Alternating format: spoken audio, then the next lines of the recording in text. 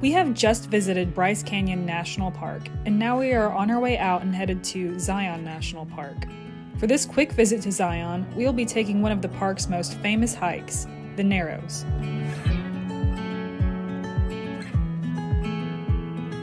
Since we are coming from Bryce Canyon, we'll get to enter the park through the east entrance. This is an excellent way to enter the park, especially if it's your first time visiting.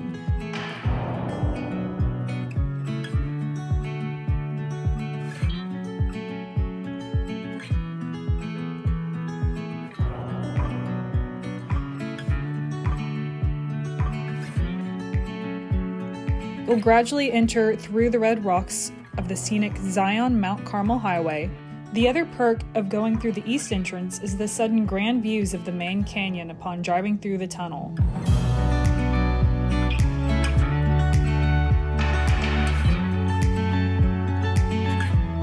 Since it's pretty late in the day, we will drive straight through the park, but we will make one stop right outside of the park in the town of Springdale. We are picking up our gear for the Narrows hike at Zion Outfitters, where we had reserved our equipment ahead of time. Now, we will head to our hotel in Hurricane, Utah, which is about 30 minutes away. It's significantly cheaper to stay here during peak season compared to Springdale right beside the park. Okay, we got to our hotel and it's like this really nice looking lodgy place, but then like look at the logo of the hotel. My place. And it makes me think of McDonald's Play Place. Red, yellow. It just doesn't match. I need to tone it down. Okay, so my place is basically a studio apartment. I have a full size fridge freezer, kitchen, stove. I mean, I guess there's no dishes. Get your bathroom. Okay, honestly, this is, uh, my place is pretty nice. I'm really tired. I've been up since 1 a.m. Eastern time. Hey, go Vols. We play Alabama tomorrow and I hope we win. If we don't, nothing new. Okay, we came out to my place pool. I'm not swimming.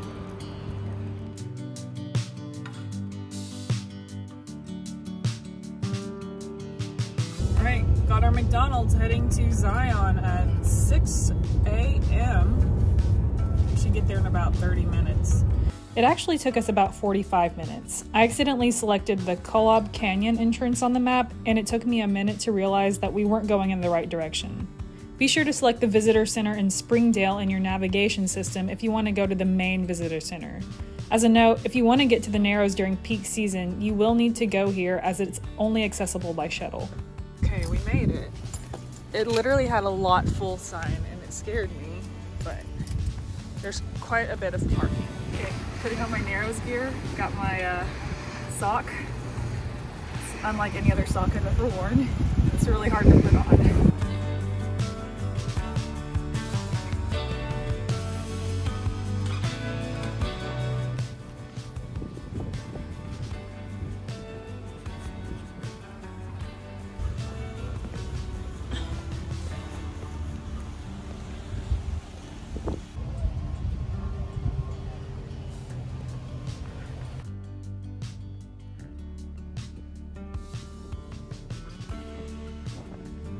The shuttle line is not so bad today. As a reference, this is in mid October of 2022.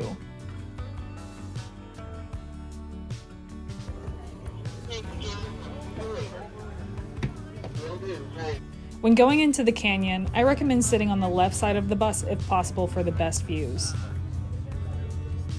Big one you see there with the big red crown on the top, that's the West Tower. It uh, measures about 7,810 feet tall it about the, highest uh, peak in the canyon here. Oh, really?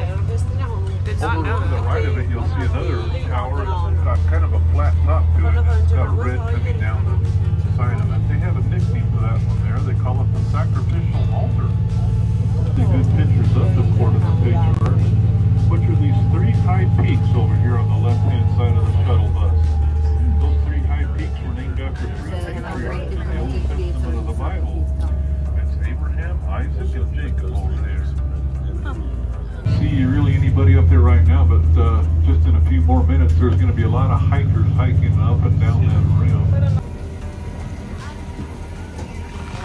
All the people getting off to go do this, huh? Before we can get to the Narrows part of the hike, we must first walk about a mile down Zion Narrows Riverside Walk Trail. Even if you aren't hiking the Narrows, this is a really nice paved and often shaded trail.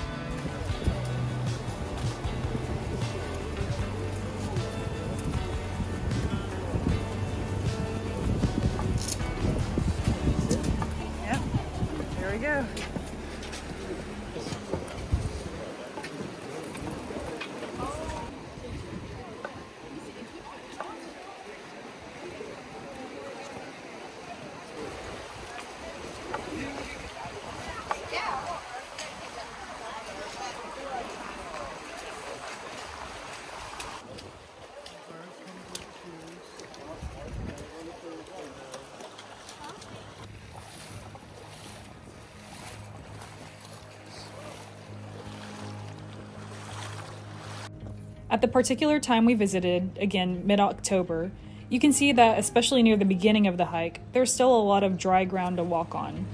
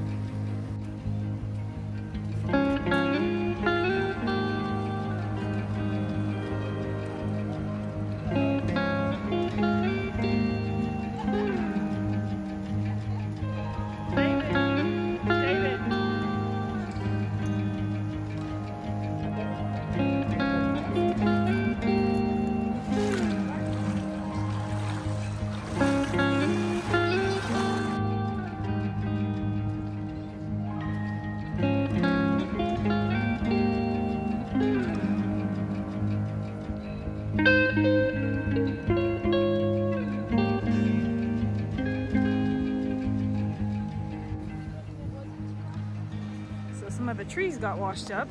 This must be where they stop.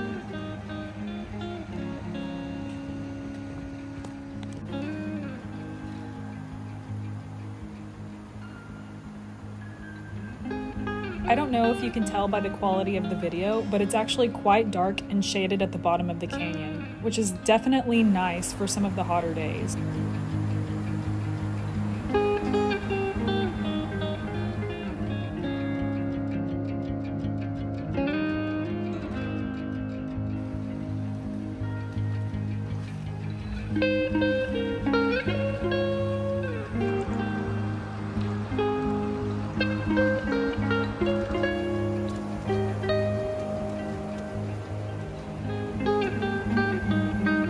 The special shoes, neoprene socks, and hiking stick are extremely helpful for navigating through the water and rocks.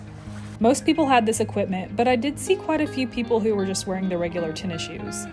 I'd say it's totally doable during the low water season, especially if you have good balance, but I still would recommend renting the gear if you can. It was $32 to rent the gear that we needed, and I stayed comfortable and blister free the entire time.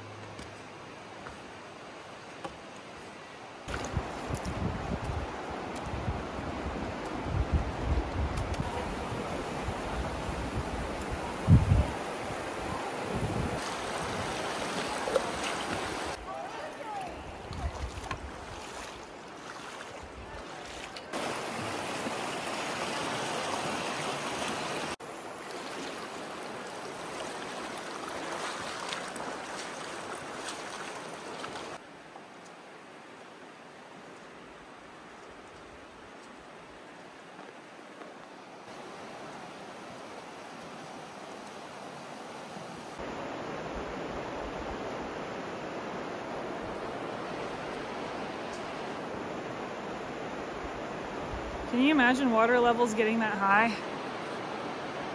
No, but you can see where it has been. Oh yeah.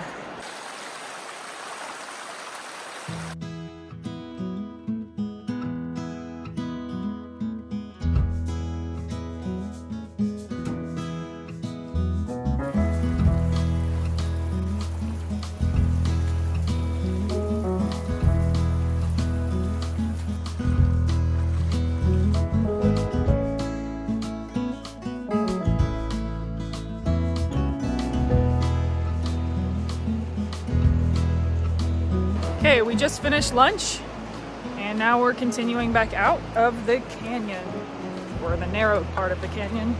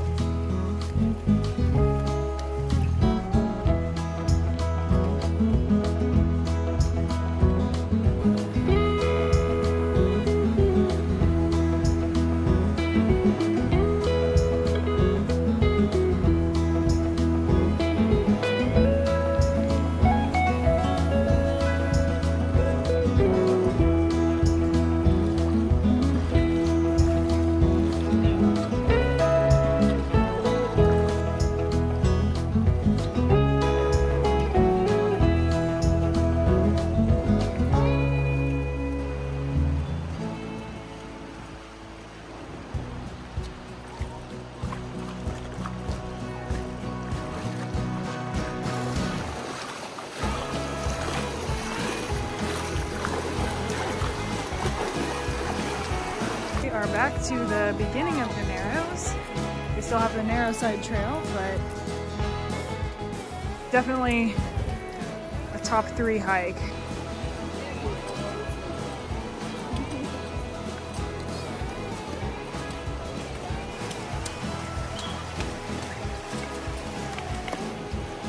I thought I was gonna want to change shoes, but like these are actually really comfortable. Oh, I will.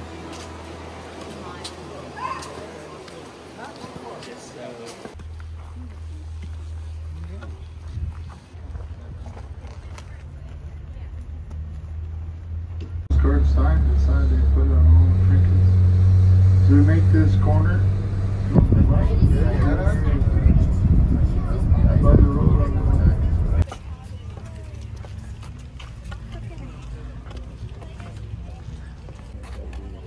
I always love a good raised map at a national park visitor center.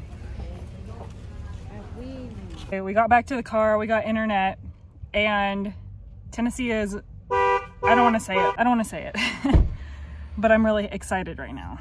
Um, taking a break from watching the game and going to take off my neoprene socks. Pretty. I feel good now that I took off those shoes, although they were very comfortable.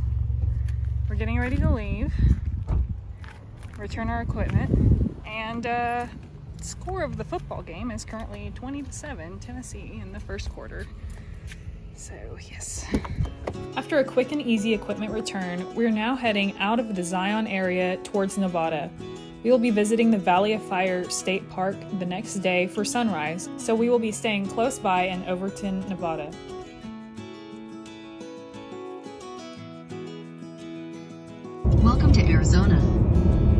As I've mentioned in every single Zion video I've ever posted, this is my absolute most favorite stretch of US interstate called the Virgin River Gorge on I 15.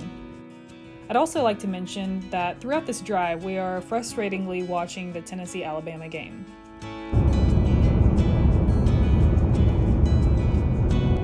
Hello. Welcome to Nevada. Thank you.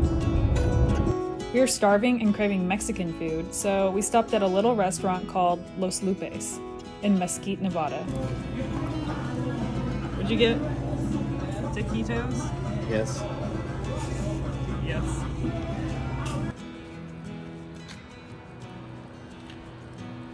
We're staying at the North Shore Inn. Here's a quick glimpse of the room at the North Shore Inn if you ever find yourself needing to stay here. This video clip actually time travels a bit into the next morning. That's why the bed is unmade and I'm wearing a different outfit, so just ignore that.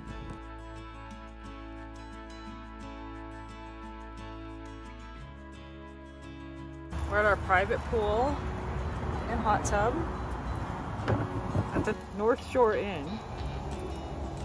And the Vols won. The Vols beat Alabama. We are 6 and 0. Alabama is 6 and 1. They're 6 and 1. And Chase McGrath. Chase McGrath. That's all I have to say about that.